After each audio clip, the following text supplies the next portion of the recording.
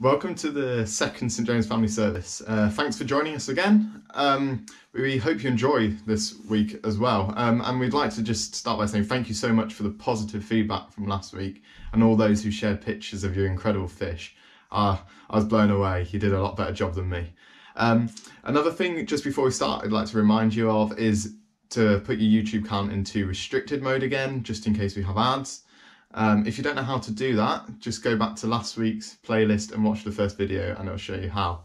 Um, we're going to start this week with uh, My Lighthouse, even though our theme is Fruit for the Spirit, because we feel at this moment that My Lighthouse is a really great song to sum up how we should be turning to God in this strange time. So we hope you enjoy doing the actions and singing along, and I hope you engage with the actions more than my dad did because he was pretty useless.